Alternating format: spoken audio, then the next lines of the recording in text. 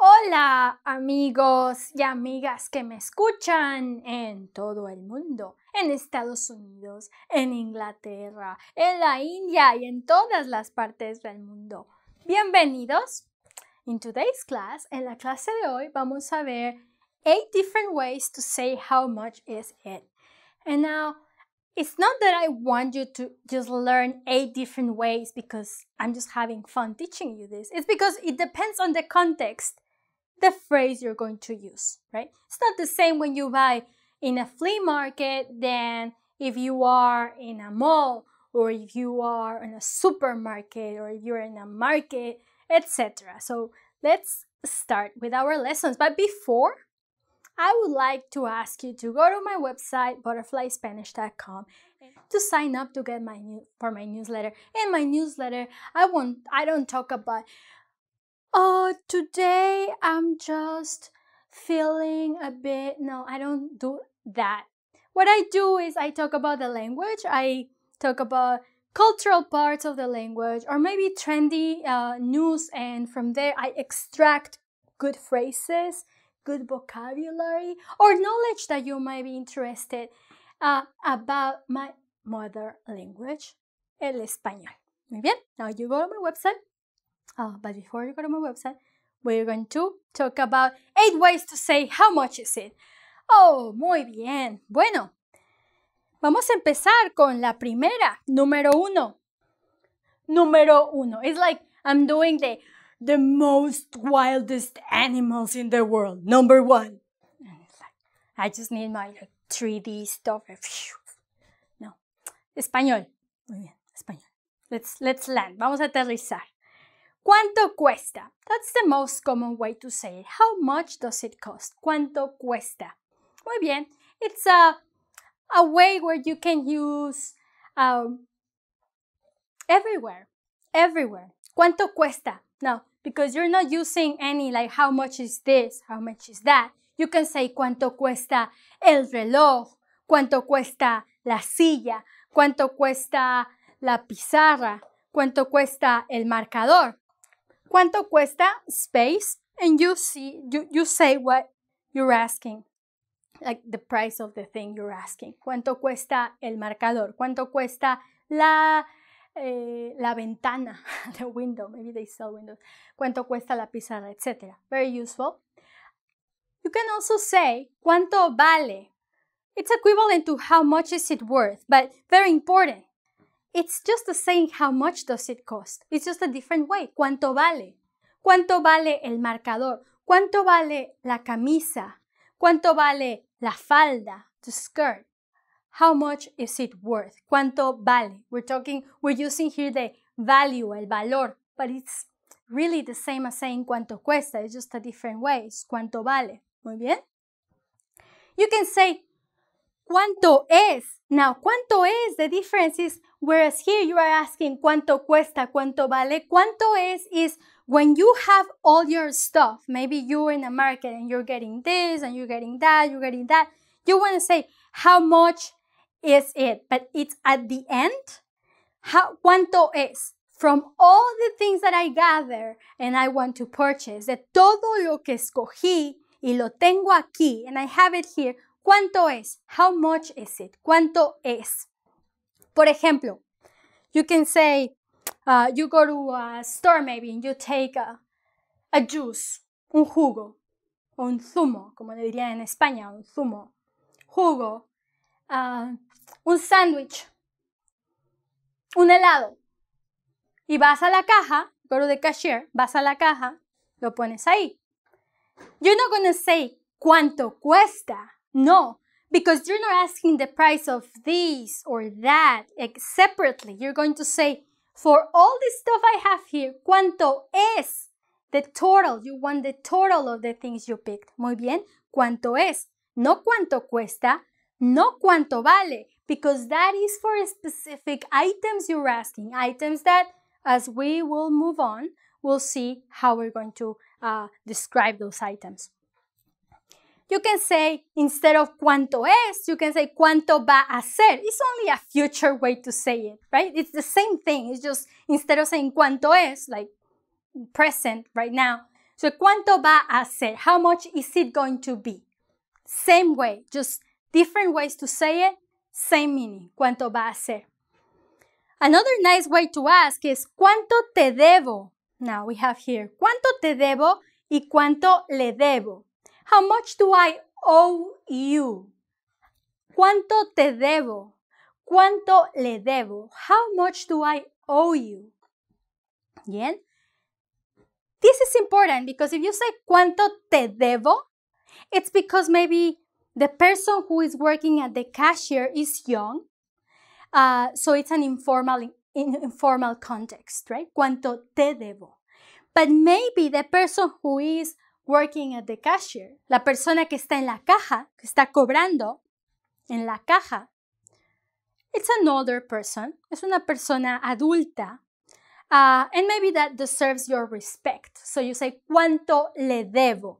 Maybe you will be more comfortable with this since you're like your uh, Span like your native language is not Spanish. You can say, ¿cuánto le debo? How much do I owe you?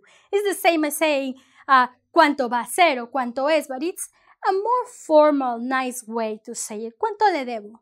¿Cuánto te debo? How much do I owe you? Now, there's some funny people that say like, oh, well, deber is to owe, so you're not going to use that because you're going to pay me now. it's like, how much do I owe you? Like, uh, nothing because you're going to pay me now. but it's really like not that way. Like, ¿cuánto le debo? Is I'm going to pay right now. ¿Cuánto le debo? Muy bien.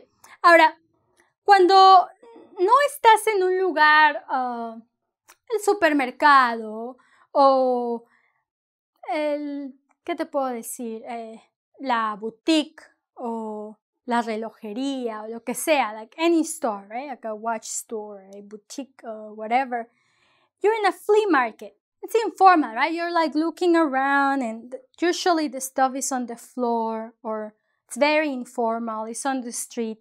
Eh, en, en, México le decimos un tianguis, a flea market, un tianguis. Like it's only once a week, tons of stuff, informal economy. So you go around.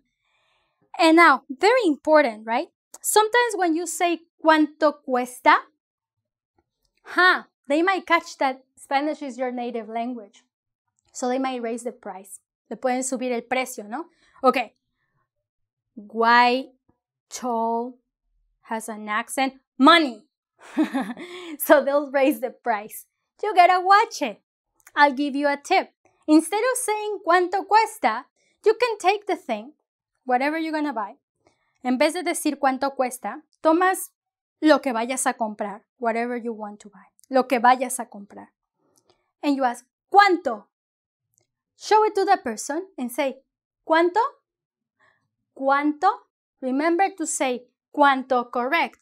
It's like saying cu and to. Cuánto. Cuánto. Very important. Pronounce the two vowels. Cuánto. And you're showing the thing that you're going to buy to the seller, to the person. Le estás enseñando lo que vas a comprar al vendedor. Entonces el vendedor sabe ¿qué vas a comprar? Te dice, oh, 5 pesos, 10 pesos, 20 pesos, 50 pesos. Muy bien. Tú dices, ah, bueno, me lo llevo, I take it, me lo llevo. I take it, me lo llevo. Muy bien. That is just so you shorten it, right? Otherwise, you say, you're going to say, say ¿cuánto cuesta esto? And so they'll say, like, oh, mm, dollars, dollars dólares. ¿Tienes dólares? And they might raise the price. Le pueden subir al precio. So you just maybe kind of pretend that you don't have that uh, accent. So you say cuánto. Muy bien. That's a, a trick. Might be useful, might not be useful. Now, we have moved, um, as I said before, you can say cuánto cuesta, how much does it cost? But when you say cuánto cuesta, you have to signal what you're asking for, right? A good way to complement this cuánto cuesta so we don't leave it so general is to say cuánto cuesta esto. Esto con la O. ¿Cuánto cuesta esto con la O? It's if you don't know the gender of the object you're going to buy. ¿Cuánto cuesta esto? Esto is like this object. How much does is this uh, how much does this object cost? ¿Cuánto cuesta esto? But you don't know the name of the thing, right? You don't say it's a notebook, but maybe you, don't, you forgot. ¿Cómo se dice? ¿Cómo se dice en español? Uh, you can say esto instead of saying the actual name of the thing. Say esto. ¿Cuánto cuesta esto? Now you know maybe the gender of the thing. You say el cuaderno o el libro. El libro. Masculine. You can say ¿cuánto cuesta este o este libro? Maybe it's a feminine. And you can say, ¿cuánto cuesta esta guitarra? This guitar. Guitarra, feminine. La guitarra, esta guitarra, right? This is el, this is la. La guitarra. ¿Cuánto cuesta esta guitarra? ¿Mm? ¿O cuánto cuesta esta? ¿Cuánto cuesta esta? ¿Cuánto cuesta este? Now, you don't know the gender. ¿Cuánto cuesta esto? Esto is easier because then you don't have to know what's the gender just yet. Pero imagínate that what you're going to buy is far. Maybe it's hanging. Oh, muy bien. Tal vez es una playera, una camiseta, like a shirt, playera. And it's hanging, you know, in the market. Por ejemplo, en México las cuelgan, ¿no? Oh, todo lleno de playeras. Y vas a decir, ¿cuánto cuesta esa? Esa. Why? Because playera. Feminine. ¿Cuánto cuesta esa? ¿La de Bob Esponja? No, no, no la de Bob Esponja, la de Calamardo. O la de Calamardo, o 20 pesos. Oh, muy bien, me la llevo. I take it, me la llevo. Muy bien. But maybe you say, ¿cuánto cuesta ese reloj? How much is that watch? Uh, how much does that watch cost? ¿Cuánto cuesta ese reloj? Huh. You're gonna say, they're gonna say, oh, el reloj de oro o el reloj de plata. Ah, el, el de la derecha, el de la izquierda. Eh, eh, eh, sí, sí, ese, ese, sí, ese, ese. They're to show you like this. No, no. This, no. That, yes, yes, that. Ese. Muy bien. You can also say cuánto cuesta eso. ¿Cuánto cuesta eso? If you don't know the, the, the, the gender. But because you're just pointing, you can just say cuánto cuesta ese o cuánto cuesta esa, depending of the gender. You don't know the gender, you say cuánto cuesta eso and then the seller will show you. Muy bien. Now, another tip for you when asking for the prices in all those uh, different markets, uh, otra, otra sugerencia, another suggestion would be, uh, tal vez estás en un restaurante y tienes el menú, o tal vez estás en una tienda y no hay precios. Maybe you're in a restaurant, you have the menu, or you're in a store and you don't see the prices, not on the menu, not in the store right? Hmm. That means probably they are gonna, depending on how you look, they'll give you the price. so what you can say in those instances, lo que puedes decir, si, si eso te sucede, if that happens to you, si eso te sucede. Puedes decir, disculpe señora, ¿dónde están los precios? Excuse me, miss. Or, eh, disculpe señor, excuse me, sir. Excuse me, miss. Disculpe señor. Disculpe, señora. ¿Dónde están los precios? Where are the prices? And they'll just take a like, oh, they are here. Oh, uh, uh, uh, they'll hesitate. Like, oh, espérame, espérame tantito, espérame. Ándale, ya los precios, que esto, que lo otro. Órale, ya los precios, aquí están. Muy bien. Oh, ok, gracias, gracias. Muy bien. Bueno, estas son las ocho maneras de decir how much is it these are the eight ways to say how much is it, as you say, except for um, this, cuánto cuesta, cuánto vale, uh, cuánto le debo, cuánto te debo. En cuánto es is when you already gather your stuff. Cuánto cuesta o cuánto vale is when you have one thing or you're pointing at one thing. Eh, cuánto le debo o cuánto es is when you gather your stuff and you're, you're paying a total for different things. Espero que te haya gustado mi clase. Don't forget to subscribe to my newsletter in which I talk about Spanish, about different things about Spanish. Uh, and I think you'll find it rather useful if you're learning Spanish. As usual, como siempre, as usual, as always, it's a pleasure to teach you Spanish. Es un placer enseñarte español. Uh, I would appreciate if you would like to donate to my channel so I can keep making lessons about Spanish. I can cover more and more topics. I can do a course on tenses. I can do different things that can help you improve your Spanish. So if you feel like sharing, please uh, donate to my channel. I would really appreciate it. Eh, gracias por ver mi canal. Espero verte pronto y nos vemos. Bye.